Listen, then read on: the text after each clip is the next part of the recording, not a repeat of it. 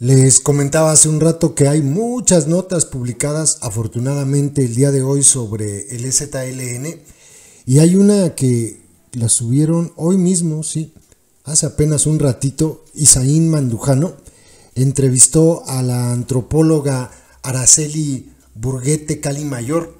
que es una, pues es una chingona en temas de este tipo y ella vive allá en Chiapas, así es que algo sabe del ZLN y habla de esta relación entre el más infame de todos los merolicos del mundo y el ZLN y también pues bueno, los 30 años que cumplen hoy de haber salido a la luz. Dice Isaín Mandujano en la entrevista que le hizo, eh, el presidente López, al negarse a escuchar las demandas autonómicas territoriales de resistencia, junto con ello, invisibiliza también al Ejército Zapatista de Liberación Nacional como estructura y organización, pero le preocupa el zapatismo como ideología global libertaria porque es una piedra en el zapato que le cuestiona el uso instrumental de los pueblos indígenas en lo general. Pues claro, así lo señala la investigadora Araceli Burguete Cali Mayor, profesora e investigadora de la Unidad Sureste del Centro de Investigaciones y Estudios Superiores de Antropología Social, con sede en San Cristóbal de las Casas, Chiapas. Bruguete Cali Mayor con una trayectoria inicial en las organizaciones sociales, en los movimientos de mujeres activistas en Chiapas, ahora en la investigación y la docencia, conoce Chiapas y sus conflictos, conoce la geografía y el territorio de los pueblos indígenas de los Altos, la selva, la frontera y otras regiones de la entidad. Dirán los atolizados que es fifí, que es neoliberal y que es muy corrupta, seguro, ¿verdad? Cuestionada por proceso para conocer su opinión sobre estos 30 años del alzamiento armado del EZLN, Burguete Cali Mayor habla del impacto nacional del levantamiento armado y su permanencia en, el, permanencia en el terreno nacional en cuanto que es ya un referente en las luchas de resistencia, tanto comunitarias nacionales y globales. Ha sido posible por su particular perspectiva de las cosas al tomar distancia de las soluciones en el marco del Estado. Eso le permitió contribuir a la construcción de nuevos enfoques teóricos como la perspectiva de colonial de poner de relieve que el capitalismo en nuestros países de América Latina y otros como África se entierra en el acto colonial del poder, del ser y del saber, que el capitalismo reproduce y que los problemas no se resuelven en ese marco, sino que se reproducen. Y dado que las políticas de los estados son neoliberales, entonces ha tomado distancia de ellos, incluyendo las alianzas con los partidos políticos, independientemente de cuál sea, dice la investigadora. Por ello permanece, porque es un referente de muchas luchas de resistencia en el mundo que toman al EZLN como inspiración y esto es algo que a mí me gustaría mucho que la gente viera fuera de México, de verdad. Cómo eh, se utiliza, eh, así como lo dice la doctora, como referente al EZLN en todas las luchas que hay, por lo menos en los lugares donde yo conozco. Siempre el EZLN es como que el ejemplo, el ejemplo. Y en México se le desprecia tanto, en fin. Señala en la entrevista que el levantamiento del EZLN aportó legitimidad a las luchas de los pueblos indígenas como sujetos políticos, los cuales ya habían comenzado a configurarse desde los años 80 del siglo XX. Sin embargo, por el alcance global del mismo EZLN, hizo visible tanto al sujeto político indígena como sus luchas de resistencia anticapitalistas y autonómicas, algo que no empata con los partidos políticos. Dice que la misma manera, aunque las luchas autonómicas habían irrumpido en los años 80, su visibilidad era débil y el Estado no las reconocía como legítimas. Pero a partir de los acuerdos de San Andrés y en cuanto los reconocimientos se formularon, poco a poco, los derechos autonómicos fueron ganando legitimidad en su argumentación, como en el ejercicio de derechos. La presencia viva del EZLN es un resultado simbólico para estas luchas, dice quien ha sido docente e investigadora en diversas universidades y centros de investigación, como la Facultad de Ciencias Políticas y Sociales de la UNAM, del Instituto Nacional de Antropología e Historia, el INA, del Centro de Investigaciones e Integración Social, el CIS, del Centro de Estudios Económicos y Sociales del Tercer Mundo, el CETEM, y de la Universidad Autónoma de Chiapas, entre otras. De igual forma, al comenzar el siglo XXI y después de las reformas constitucionales de 2001,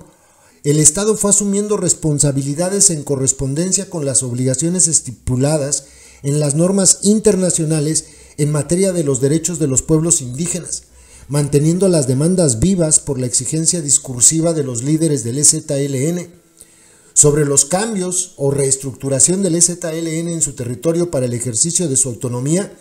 dice que la propuesta de estructuración del gobierno autónomo local, lo que ahora se llaman los GAL,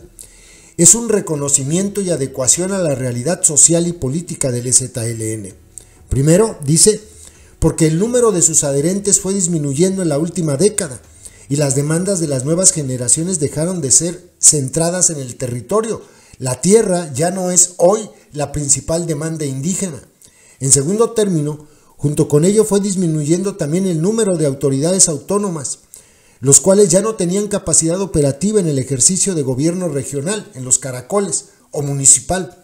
Y tercero, adicionalmente con el periodo de COVID, la cooperación internacionalismo disminuyó, lo que imposibilitó sostener la, la, estructura zapatista, lo que condujo al cierre de los caracoles, siendo este, en su entender, la principal razón por la cual la estructura del EZLN se modificó. Es así, dice, que en este marco general de debilidad de los adherentes del EZLN en las distintas escalas, comunidad, municipio y región, eran vulnerables frente a sus adversarios políticos y más recientemente sus adversarios armados, en la crítica situación actual de la expansión y consolidación de las células de los cárteles armados que se disputan el territorio estatal. Y le pregunta a Isaín Mandujano, ¿hacia dónde considera que camina el EZLN en esta etapa que inicia al cumplir sus 30 años de levantamiento armado? Considero, dice ella, que la medida tomada por el EZLN de reestructuración en los términos antes mencionados fue una decisión pragmática, acertada, adecuada a su realidad social, lo que le permitirá permanecer mucho tiempo vigente en los, territorios, ya que será elástico y poroso, así lo define. Paradójicamente, con su reestructuración no se anuncia su muerte, sino que es una estrategia de sobrevivencia para un largo futuro que le hará permanecer con vida, aun cuando ésta sea una permanencia mínima, ya que alimentará las representaciones sociales del zapatismo como una construcción simbólica de resistencia global, dice la investigadora, a quien en 2020 le fue otorgado el diploma de honor por el Fondo para el Desarrollo de los Pueblos Indígenas de América Latina y el Caribe, el programa emblemático de mujeres indígenas de América Latina y la Universidad Indígena Intercultural. Sobre la postura de López en torno al EZLN y su lucha, Burguete Cali Mayor dice que el mandatario federal ha desarrollado dos estrategias frente a los pueblos indígenas. Una de ellas es la folclorizante, de uso instrumental de los símbolos indígenas.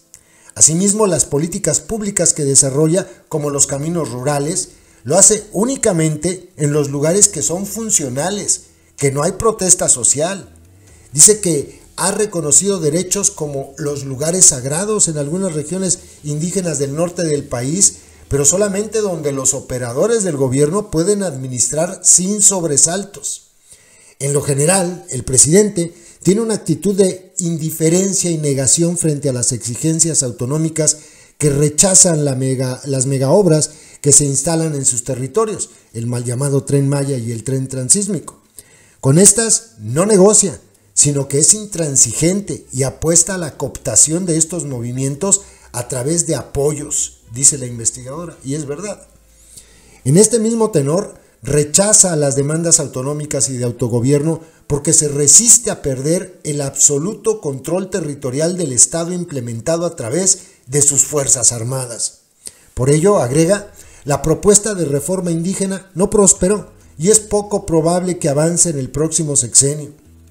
Al negarse a escuchar las demandas autonómicas territoriales de resistencia, junto con ello, invisibiliza también al ZLN como estructura y organización, pero le preocupa el zapatismo como ideología global libertaria, porque es una piedra en el zapato que le cuestiona el uso instrumental de los pueblos indígenas en lo general. Es la publicación que hizo Isaín Mandujano en proceso. Estoy muy de acuerdo con la doctora porque pues sí, efectivamente, la doctora Araceli tiene razón. Eh, a López el ZLN siempre le ha preocupado porque son una piedrita en el zapato. Porque puede engañar a mucho atolizado, pero difícilmente engañar a un zapatista. Saludos, compas.